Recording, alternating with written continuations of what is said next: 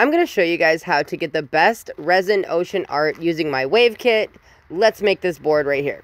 All right, so first we're going to mix up B, and I am using Promise Epoxy UV art resin. So I always mix B before A. Reason being is because B is thinner than A. I'm only doing this board, so I'm only mixing up an ounce and a half of resin. You can use code FLUIDWOOD for 15% off of any Promise Epoxy products, anything on their website. All right, let's mix this up, and then we're going to separate this out into our little cups. So make sure you mix good, scraping your sides and the bottom of the cup and get your cups out for your blues and your white. And we're gonna leave a little bit of clear in the big cup okay?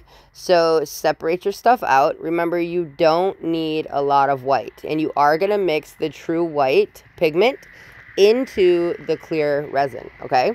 So I'm adding a little bit more into the blue cups than I am the white one which the first cup is the white one and that's because you don't need a lot of white at all. Like this is honestly too much. I just like to have enough rather than not enough. Does that make sense?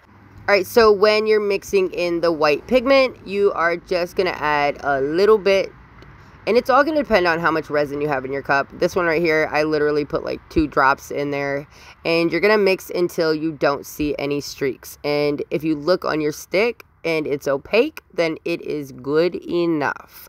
Remember, you can always add more, but you can never take it out, okay? All right, so I'm using just resin and eye candy pigment paste for my blues. You can choose whatever blues you want. And I'm to just get these in there. And yeah, I used one popsicle stick. I broke it in half and then broke the halves in half. And that is how I am um, mixing these up because these are like really small medicine cups. I'll put everything that I use down in the description below. I need to order some more of this blue because it is almost gone and I really like that color. All right, so now I'm getting some dark turquoise and you just need a touch of this. That is all. That's actually too much. There we go. And we're going to get these blues mixed up and then we're going to pour them on our boards. Keep your Cell Magik close because as soon as you're done pushing your wave with your heat gun, you are going to spray the Cell Magik on. And yes, the pigment alone creates cells and lacing, crazy cells and lacing.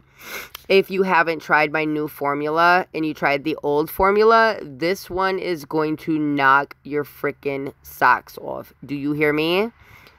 The new formula is crazy. I am so freaking excited for it. I cannot wait to show you what it does. All right, let's get these blues on here because I'm so excited. All right, so I'm just getting the blues on here. Remember the orientation of your waves, okay? Whatever you like and whatever you want to see for this, uh, go for that, okay? What you like your water to look like, go for that. And if you're interested in like learning more about my color placements and things like I got something on my board. If you're interested in learning about my color placements and like techniques more than what I'm explaining in my YouTube videos and stuff, I do have an Ocean E course that you can check out. Um, if you have purchased the one that is up right now, just know that I am coming out with a new one. And if you purchased the old one, you will have access to the new one. Okay? So I'm just up, I'm like redoing it because I made that course uh, over a year and a half ago, I think. All right, so I'm going to take my finger and I am going to spread these colors out and around the sides of the board. And you can do this however you like. If you don't want your sides covered, I have a video for that. and if you want your sides covered, I'm showing you how to do that right now. So I don't mind my colors mixing. I actually think that that makes it look more realistic. And I use my finger to get a smooth line. Always make sure that you wear gloves. This is a toxic substance. I say that all the time. So make your blues look however you want them to look. And then when you're done, we're going to go ahead and hit it with a torch. Not a lot, just a little bit. And this is going to make it more movable and just pop any surface bubbles so that way it doesn't affect the white. All right, so now we're going to get our little clear later on. And like I said, if you want more explanation for this, um, how to make the white ride and just how to get the perfect ocean every single time and just a breakdown, um, check out the e-courses. Otherwise, just do what I do or do what you do and these pigments rock and it you'll just you'll probably get a great ocean anyways. All right so we're laying our clear down and then we're gonna lay down our white and then we're gonna push our waves. All right so i like to put a little bit of wave in the back. I don't want a naked handle you can lay your ocean on the side of the board. I actually had a reason of why i did this board like this. Um so yeah. All right so now i'm going to get the resin positioned in the cup the way i want it and i'm gonna lay my white down.